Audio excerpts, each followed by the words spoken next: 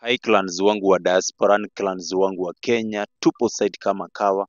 Tumesafiri from Nairobi hadi mahali panaitwa Kisii eh? Tuko Kisii pale, watu wa Kisii mko wapi? Tuko nyumbani.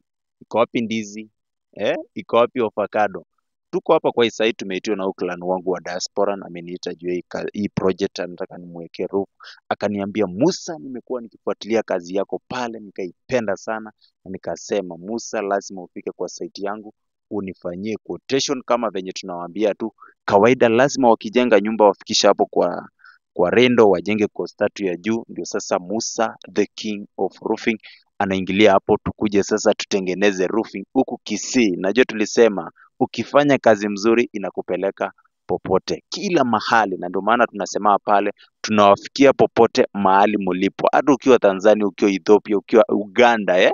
tunafika pale tunakufanyia nyumba yako roofing na itakuwa vizuri kabisa. Sasa tumekuja kuchukua measurement za hizo ukuta zote, nikaangalia ile design ambayo itaingia kwa hiyo nyumba. Mimi tu nikiangalia hivi hii nyumba saa kila kitu ambayo inahitajika hapo nishapata kwa akili yangu. Yaani hii naifanya quotation na mtumanishia clan wangu akiwa pale eh, pale diaspora eh.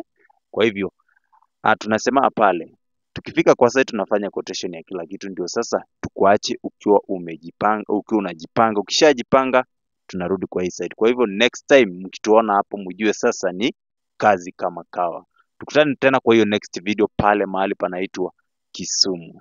watu wa Kisumu, watu wa Kisumu tuko njiani eh, tunakuja pale tukuje tuangalie project na mambo itakuwa sawa sawa. Kila wakati nakuambia mambo ni mengi, masaa ndio kidogo. Kwa majina anajulikana kama Musa the King Roofing. Bye bye.